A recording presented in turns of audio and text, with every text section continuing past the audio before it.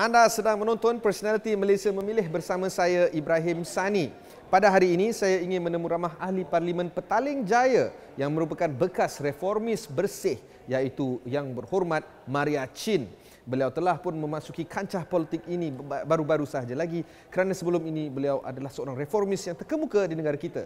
Kita akan tanya kepada beliau apakah motivasi beliau meninggalkan senario aktivis dan memasuki kancah politik. Saksikan wawancara ini.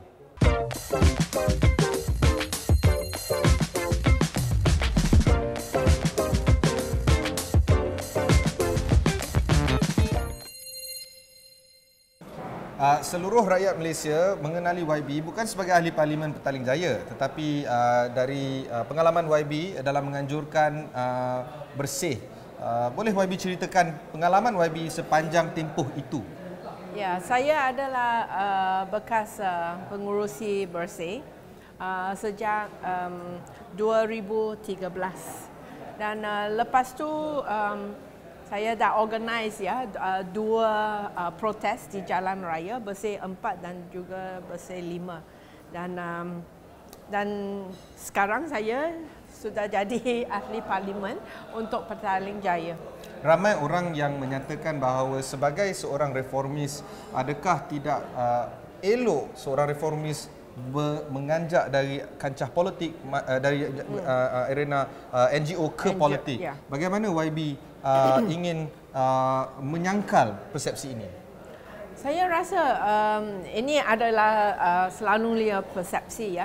Tapi um, untuk saya, um, saya rasa um, berada di parlimen adalah satu lagi peluang ya uh, yang mana agenda reformasi boleh diteruskan.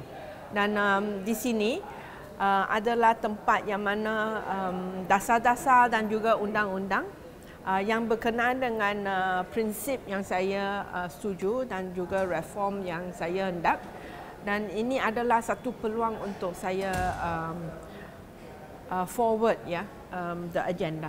Okey, um, Wabi masih belum lagi menyertai mana-mana parti politik kan?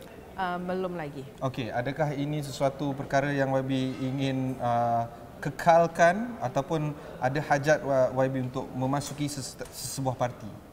Um, itu adalah satu soalan yang um, saya belum uh, buat keputusan lagi. Um, ter- secara tradisinya uh, kerusi Petaling Jaya ataupun dahulunya Petaling Jaya Selatan uh, merupakan kerusi PKR. Um, ya. Bagaimana parti PKR boleh uh, uh, memilih YB sebagai calon mereka di kerusi ini yang boleh dikatakan selamat untuk pakatan? Ya, saya rasa um, uh, negotiation ya yang saya ada dengan uh, PKR ialah saya harap ya yang mana um, agenda saya boleh diteruskan di parlimen dan um, kalau saya kalah saya tak boleh teruskan dengan agenda lah. So um, dari um, dari PKR saya rasa mereka sangat generous dan sangat uh, uh, menyokong agenda um, saya dan juga um, agenda demokrasi. So uh, sebab itu dia mereka setuju untuk uh, bagi saya bertanding di Petaling Jaya.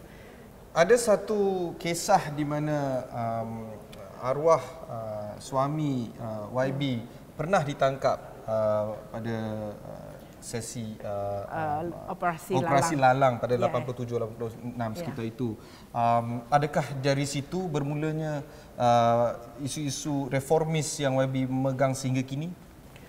Um, ya memang ya kerana uh, awal suami saya bermula sebagai um, um, aktivis mahasiswa ya dan uh, pada masa itu uh, pada tahun uh, 70-an ya um, mahasiswa-mahasiswa daripada Universiti Malaya sampai ke Singapura um, mereka ada satu idealism ya yang mana mereka hendak um, menghapuskan kemiskinan. Itu adalah satu agenda yang besar untuk mahasiswa pada um, 70-an um, dan sebab ya sebab mereka uh, berjuang um, untuk um, mengadakan satu demokrasi yang mana pelajar boleh bersuara dan semua tu um, mereka ditindas uh, sekuat-kuatnya oleh kerajaan. Dan um, ramai ya seperti uh, Anwar Ibrahim, uh, Said Hussein Ali dan semua tu mereka kena ditahan di bawah um, akta um, ISA. Hmm, termasuklah uh, Menteri Kewangan, um, Lim Guan Eng, uh, Menteri Pertahanan. Tak ramai yang tahu tentang kisah arwah suami YB. Hmm. Um, bagaimanakah dia sebagai seorang uh, individu? Adakah uh, idealisme yang beliau uh, pegang uh, masih lagi di, uh, diangkat oleh YB sendiri? Um, saya rasa dia ada satu uh, um, reform agenda juga kerana apa yang um, saya dan uh, awal suami saya berkongsi ialah kita mau negara ini lebih um, maju tetapi juga melib, uh, terlibatkan um, suara rakyat ya. Um, dan juga uh, mengadakan dasar-dasar dan undang-undang yang boleh um, memperbaiki diskriminasi ya yang berada di um, Malaysia pada masa itu dan um, bila dia uh, kena uh, tertindas oleh kerajaan dia dia keluar dari negara Malaysia dan um, terlibat dalam uh, Palestine Liberation Organisation sebagai uh, askar dan komando, uh, lepas tu dia jadi komando kepada um, Yasser Arafat bodyguard. Um, adakah ini menyebabkan beliau tidak dilihat sebagai seorang yang patriotik ataupun nasionalistik uh, kerana beliau meluangkan masa di luar negara di um, dia. uh, dia. Mm. um, dalam kategori terorisme mungkin? Um, saya rasa tidak. Kerana um, Malaysia negara Malaysia adalah negara yang pertama yang mengadakan uh, kedutaan di Malaysia di Kuala Lumpur uh, pada um, 76 ya.